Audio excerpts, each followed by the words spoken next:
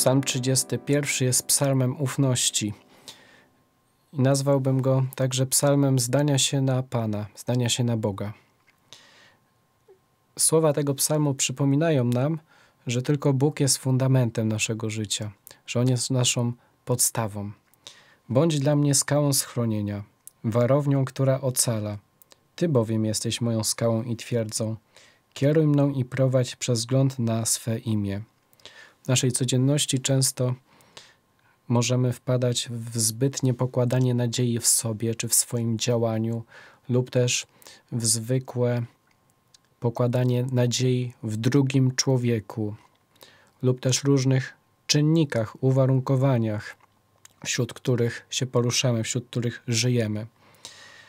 I możemy w związku z tym niekiedy przeżywać różne napięcia, różne trudne sytuacje, a ten psalm przypomina nam o tym, by zaufać Bogu, że to tylko On jest naszą skałą, naszą warownią, naszą skałą i twierdzą, że to tylko On jest ocaleniem.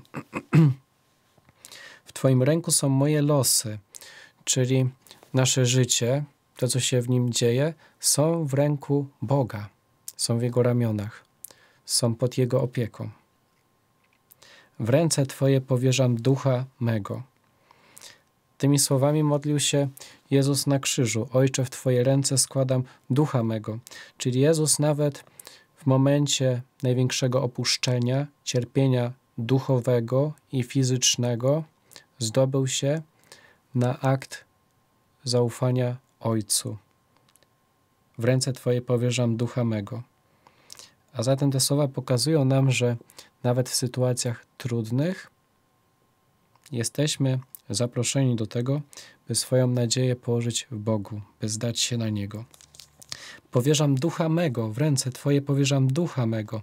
Ducha, czyli coś najbardziej głębokiego.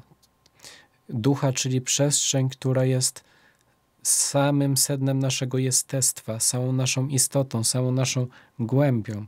Trzeba mieć wiele zaufania do drugiej osoby, by złożyć w jej ręce samą głębię, samą podstawę swojego jestestwa.